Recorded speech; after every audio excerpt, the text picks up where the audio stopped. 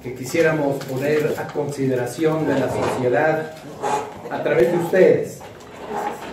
El Instituto de Transparencia de Acceso a la Información Pública y Protección de Datos Personales del Estado, ITAIPUE, donde señalan que Morena es el partido más opaco, una vez que Morena en Puebla tiene 263 denuncias ciudadanas de las 329 que se han registrado contra sujetos obligados de la ley de transparencia. ¿Qué es lo que está ocultando Morena?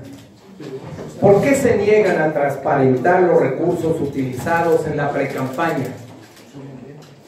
Luis Miguel Barbosa ha sido el candidato de la opacidad, se, pre se presta a las viejas prácticas del rancio priismo. No cabe duda que es el verdadero rostro de Morena, un partido que se caracteriza por el engaño, las mentiras y principal, principalmente por su falta de transparencia.